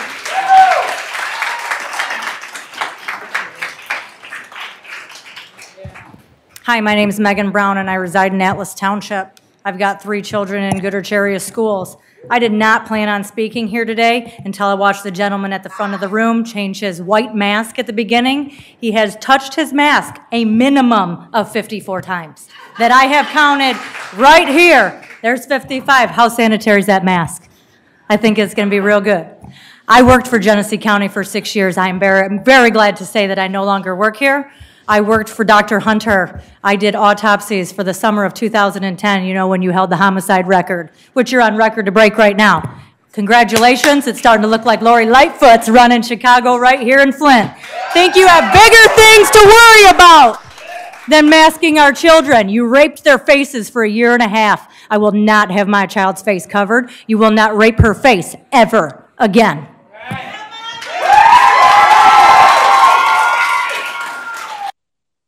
We have to take a little time out for the CCN news break. We'll be back with more with a lot of speakers from yesterday here on the Morning Gazette radio show after the CCN news break. Hang on, another morning jolt is coming after Mike takes his blood pressure meds. This is CCN Radio. It's time for the CCN News Update. Here are the latest headlines at this hour from the CCN News Center. This is VOA News, reporting by remote. I'm Joe Ramsey. Flag waving protesters took to several Afghan cities on Thursday, and a witness said several people were killed when Taliban fighters fighters fired on the crowd. In a popular opposition to the militants since they seized the capital, Taliban fighters fired at protesters a day earlier, killing three, according to witnesses and media reports. The crackdown on protests are raising new doubts about Taliban assurances that have, they've changed since their 1996 to 2001 rule when they severely restricted women, staged public executions, and blew up ancient Buddhist statues. While Kabul has been generally calm since Taliban forces entered on Sunday, the airport has been in chaos as people rushed for a way out of the country. A NATO and Taliban officials say 12 people have been killed in and around the airport. The United States and other Western powers are pressing on with the evacuation of their nationals and some of their Afghan staff from the capital's airport, from where about 8,000 people have been flown out since Sunday, according to a security official. This CCN news break is sponsored by the Flint Area Chamber of Commerce, the best investment your small business can make. Go to flintareachamber.org for information about membership. What's the best decision you can make for your business? Your membership in the Flint Area Chamber of Commerce is the best investment that your small business can make. Hi, I'm Ryan Eashoo with Remax Real Estate Team, and Flint's future is looking so bright, I have to wear shades. Visit us online, flintareachamber.org. Your membership helps us develop a strong, united voice for the business community. Building a better Flint and Genesee County. This is the CCN News Break. A new study published Thursday claims the effectiveness of the Pfizer vaccine against COVID 19 declines faster than that of the AstraZeneca jab. Researchers at Oxford University said, quote, two doses of Pfizer have greater initial effectiveness against new COVID 19 infections, but this declines faster compared with two doses of AstraZeneca. The study is based on the results of a survey by Britain's Office for National Statistics that carried out PCR tests from December last year to this month on randomly selected household. It claims Pfizer had greater initial effectiveness but saw faster declines in protection. This is VOA News. The murder count continues toward a record number in the city of Flint. On Tuesday, a shooting at 4:30 in the afternoon at the Eagle Ridge Square apartment killed one person and another person was killed Tuesday night near Flushing and Ballenger in the city of Flint. The Flint Board of Education voted Wednesday night to cancel classes today because of excessive heat in buildings. School board members and public comment blasted the school district for excessive heat in buildings. No classes are scheduled for Friday. Classes will resume on Monday. Our top statewide headline yesterday COVID cases up to 2,960 on Wednesday. Turning to sports news, the Detroit Tigers were beaten 3 to 1 last night at Comerica Park. They go again today at 110 at Comerica against the Los Angeles Angels. Yesterday, All Star pitcher Shohei Ohtani went eight innings, baffling the Tigers. He also tacked on some insurance with his 40th home run in the eighth inning for the Angels. The Angels using a two run homer in the opening inning by former Tiger Justin Upton to jump in front early. Also in news involving the Detroit Tigers, Hall of Famer Jack Morris, a former star pitcher for the Tigers, suspended indefinitely from Tigers TV broadcasts by Bally Sports for an apparent slur against Asians during Tuesday's broadcast. Good news for the Detroit Pistons. Rookies Cade Cunningham and Luka Garza named to the All Summer League second team out in Las Vegas. You've been listening to the CCN News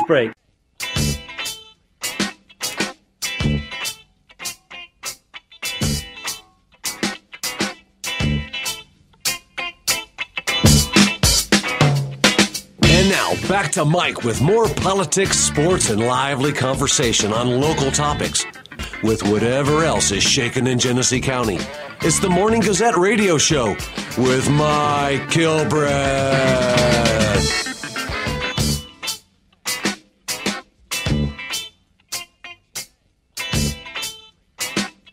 And we're back here on the Morning Gazette radio show. I am Mike Kilbreth, and we're going to continue with our comments here from yesterday's Genesee County Board of Health meeting.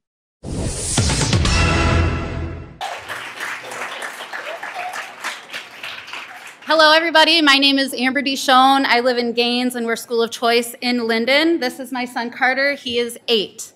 All of the people who are saying that children are not affected mentally by this, please ask my eight year old. Please ask our children how masks make them feel in a safe, safe, supportive place. I had to watch my then seven year old go from a social butterfly. He would talk to anyone, he would give anyone a smile. He was so happy. You could literally see it in his eyes, it would ooze out of him. Ask anyone. I had to watch him go from that little boy to a little boy who wouldn't even get out of bed to do homeschool. I had to watch my little boy go from a spirited, amazing young man to a kid who flat out said, Mom, I don't know what to do. I feel like I don't want to be alive anymore.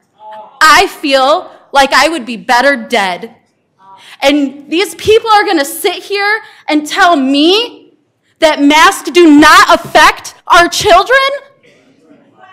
Are you serious? And I understand masks, according to you, keep people safe. And I totally and fully agree that if you feel you are the safest with a mask over your face, you are, as enti- you are entitled as an American to make that choice. This country, since I was his age, has completely changed. I should not need to show anything to get into any business in this country. I am an American. We are Americans. What happened to our right to choose what we want to do with our children? 10 seconds. I, that's all I have to say. I thank, you, so much for your time, and I really appreciate. You're welcome. Thank you.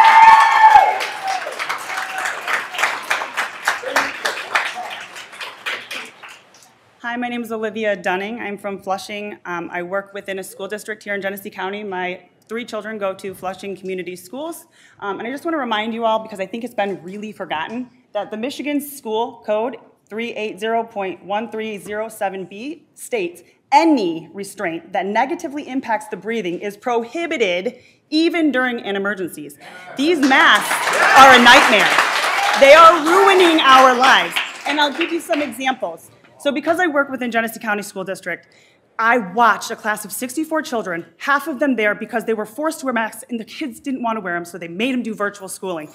Half of 64 kids failed in one classroom, in one school, in one county. What are we doing? These kids are being destroyed. And I'll bring it to my own children because I have personal things that have happened to my family.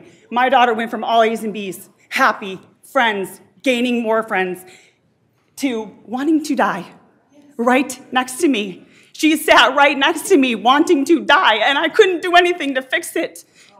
This is, this is insane and it needs to stop. My son's hard of hearing. He doesn't have hearing aids yet. He needs to see your mouth. If he can't see your mouth, how does he know what you're saying? He fails spelling tests because of it. We need you all to do something and it needs to be the right thing. Thank you.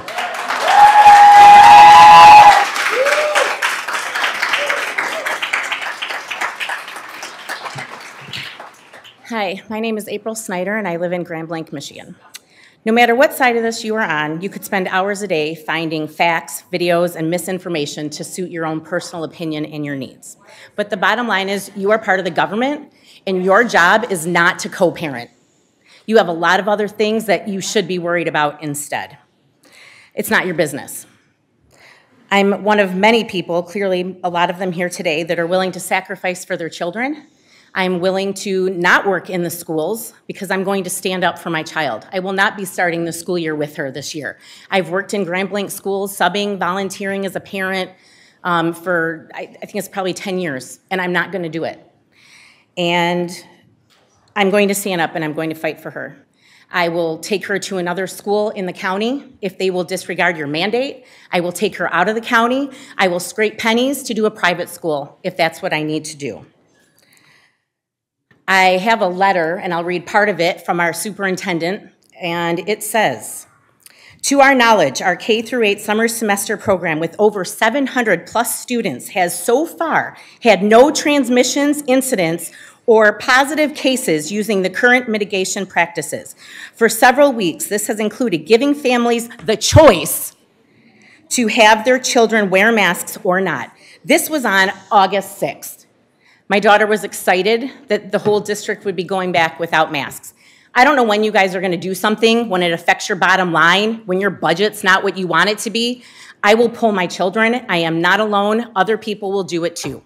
Let people have the choice. This is not your business. It's not your place. Thank you very much.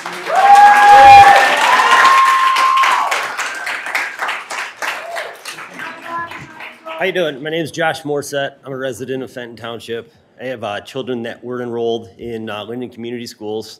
Um, as previously mentioned, the Michigan School Code that strictly outlines what child abuse is in a school system. That has been shoved off to the side.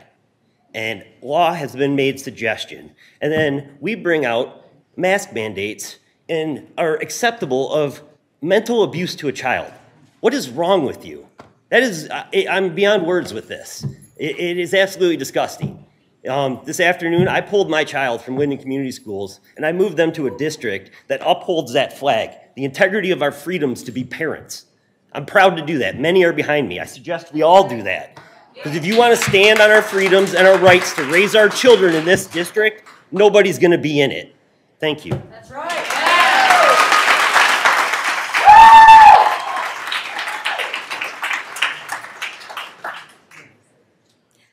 Hi, my name is Brittany Perry. I reside within the Davison School District. Um, I want to keep the main thing the main thing, and that's as parents, we get the choice.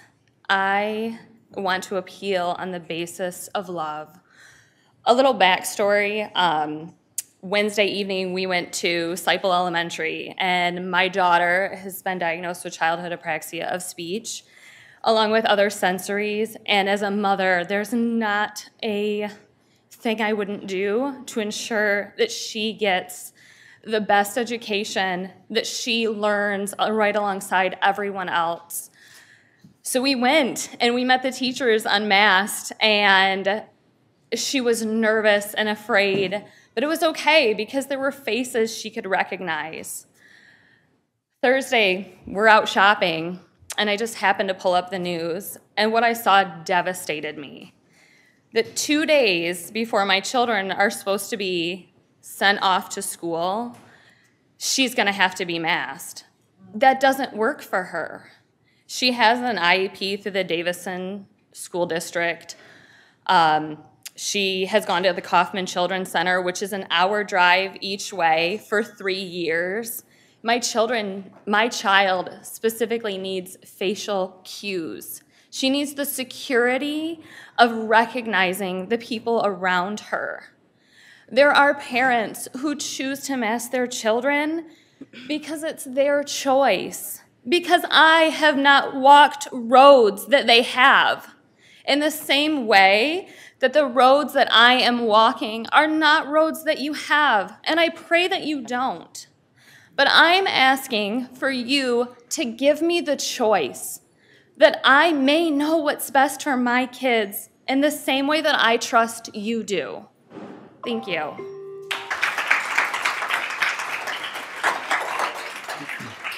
Good afternoon. Thanks for having me here today. Uh, My name is Chris Fletcher, and I live in Fenton, Michigan. And I am the Vice President of Lake Fenton Community Schools Board of Education. Uh, I sat where you do on Monday night. I had uh, two and a half, three hours worth of constituents who came up to me and told me that they want to have the option of masking their kids or not. And it's, it's hard to tell them that we can't because of a mandate that comes out that binds our hands. So I'm asking you today to think about what this means.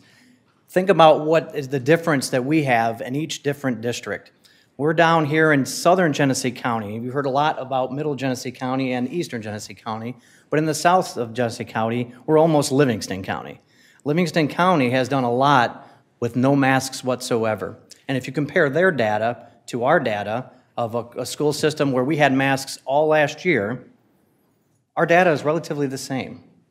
So I'm asking you to rethink this, look at it from our perspective and say, let's try it without the masks and let's see what the data says.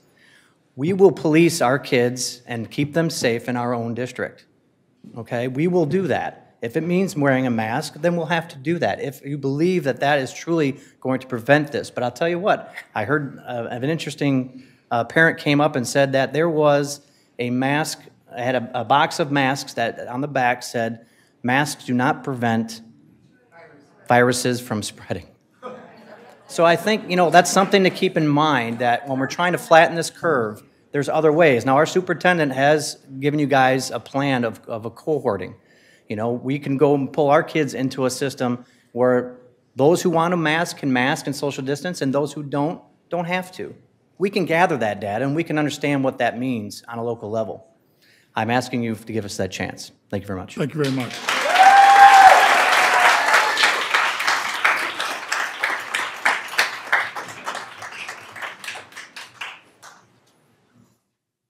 My name is Leah Davis. I'm from Swartz Creek. You are not following the science. Science is not exact. There are people which have contraindications from any one given intervention. Not everyone reacts the same. Our body's chemistry varies and is unique one from another. You're treating this injection as one size fits all remedy. This is mass medical malpractice. It is medical fascism at best. You should be held accountable and responsible for all those who become vaccine injured, which according to VAERS is way more than any other reported inoculation in our health history. You are pushing propaganda, not health, and you don't really care about the public or our children. You are exploiting an agenda, not safety and wellness. I wouldn't be surprised if more people are dying from your jab than are from the COVID virus itself. And furthermore, the Delta variant could be coming from the so-called COVID vaccine itself. As a healthcare professional, I was put through an N95 mask test so I could ensure good fitting to help prevent the viral spread. However, not even this is 100% proof.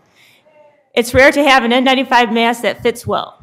You are giving our kids false hopes and exposing them further by forcing them to inappropriately don and doff flimsy and ineffective surgical masks against OSHA standards multiple times daily. This is absurdly unsanitary and unsafe in so many ways.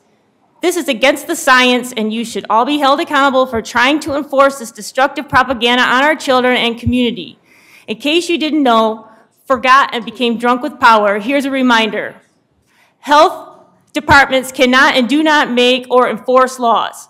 Stay in your lane and go back to healthcare sciences because you seriously funked our society and became politically motivated Ten bureaucrats instead. We parents are more than fed up with the lies, the deception, the false science, and the harm you are imposing upon our children.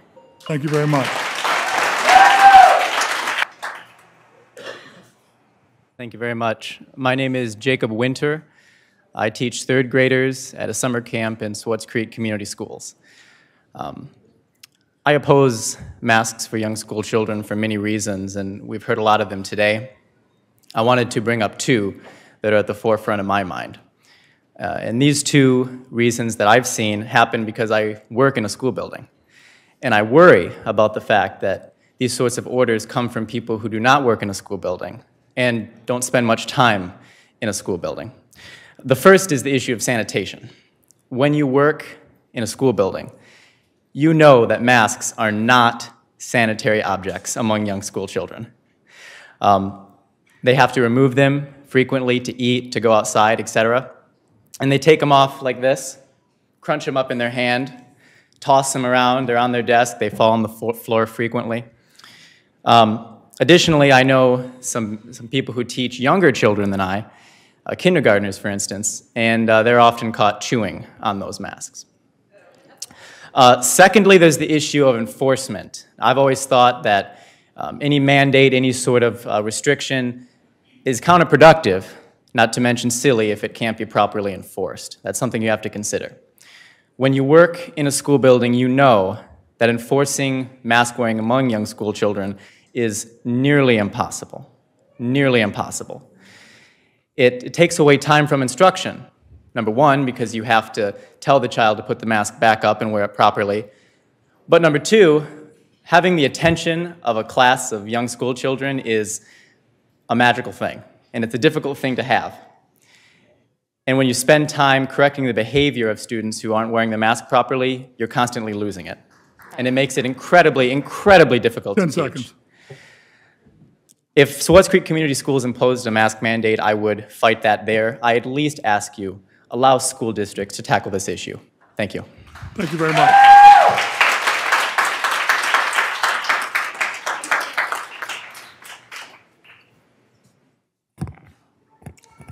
Sorry, I'm short. My name is Jamie Gildner, and I live in Davison.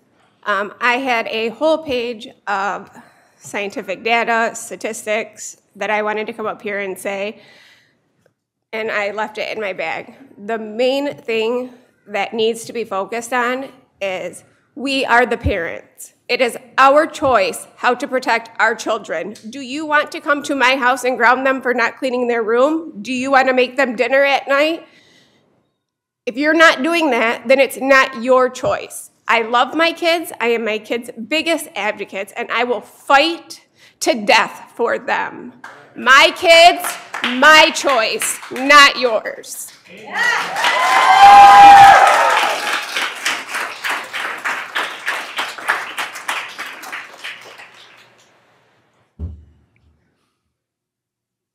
Hello, my name is Kim Winter. I'm from Swartz Creek. Um, my comment is brief. I would like to tell you all that you are insulting and disgusting because all these parents out here, you think that you know better than them how to take care of their kids. The government is not going to tell me how to take care of my kid. So I don't know what you guys think you're doing. Do you have kids of your own? I mean, what is going on here? This is not about protecting kids. This is about control also. I will not be controlled by the government, especially when it comes to the health of my child. And I am insulted and disgusted because I find this ridiculous that you think you know better than me what's better for my kid. Thank you.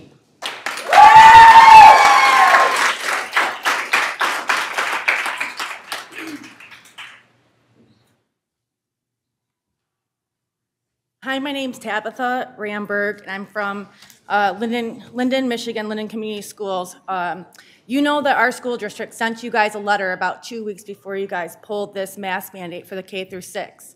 So you guys were very adamant that, that Davison and Linden knew where we felt about this, that it was better if we did our own contract tracing and we seen what the infection rate was in our school, and then we would take it from there if we needed to, to do the masks. I talked to Miss Kaylee Baloney uh, last week, and I asked her if she had read Dr. Fauci's emails that, that were FOIA that stated that he knows that masks do not work, especially cloth masks.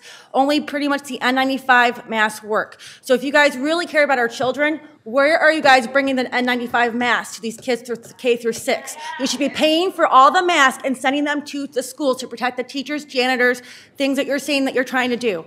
Also, can you explain to my daughter here, who's 14, why homeless people aren't forced to wear masks, aren't forced to be vaxxed, or why they're not contract traced, the homeless people that are walking all around here outside your buildings, but my daughter is?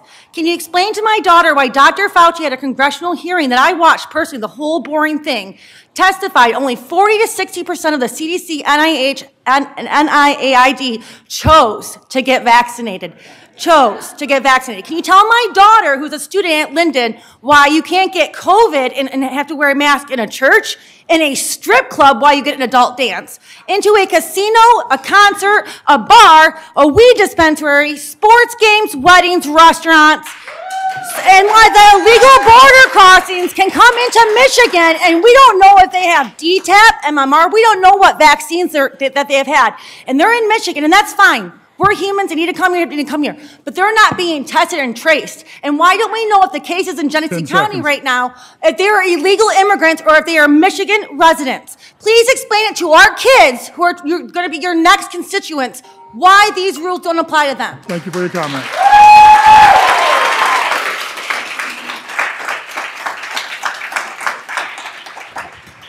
Hello, I'm speaking directly to you guys because you're not wearing masks, and I appreciate that because my name's Amy Bigelow and I'm hearing impaired. And it makes me furious every time I see someone with a mask. I don't recognize these people as human beings anymore because they don't recognize me as human beings enough to pull their mask down so I can read their lips. I have been refused so many times in the past 16 months for someone to pull their mask down so I can read it. So it's not just for kids, it's for everybody. Everybody should be allowed to make a choice. And I also want to make, point out that if you're hearing, you need to read lips 40% of the time. You're unconscious of it. But there have been so many mix up with food orders, with people talking over retail stuff, and both people are wearing masks, but they can't understand each other and they're hearing. So please stop being educated fools and have some common sense.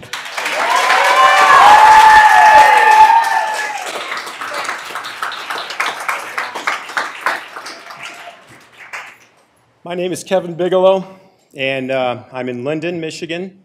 I've been a carpenter for over 28 years, and I will tell you that the N95 mask, the surgical mask, do not work.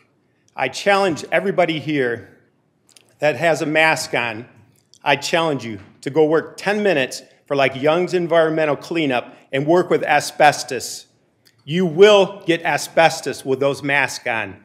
And the coronavirus is 1,000 times smaller than that. They do not work. And I'm here to tell you the truth. You have more likely to die from a car accident coming here than you are from the coronavirus. So please, let's be smart. Let's have some common sense. Thank you.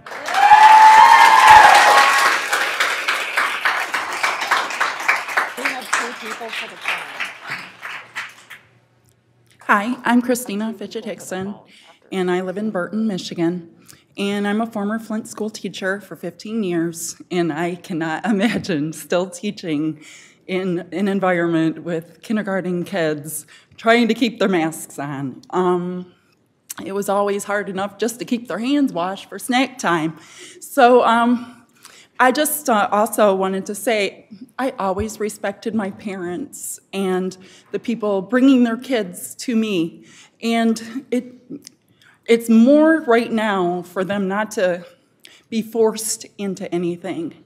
I can see these parents, some of them, they have some ter- terrible stories and some really bad things happened. Um, I just urge you to look at that and see that the parents deserve a choice. And we shouldn't be making decisions for them. They know their children. We've always known that.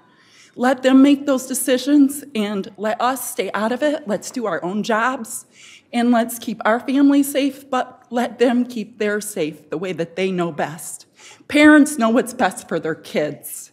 And these horrible stories of suicide, I can't imagine if that happened to my child, how bad I would be feeling. So, thank you for allowing me to speak and Just think about these things that they've been teaching you. I'm sure it gave you a lot of different perspective. Thank you. Thank you.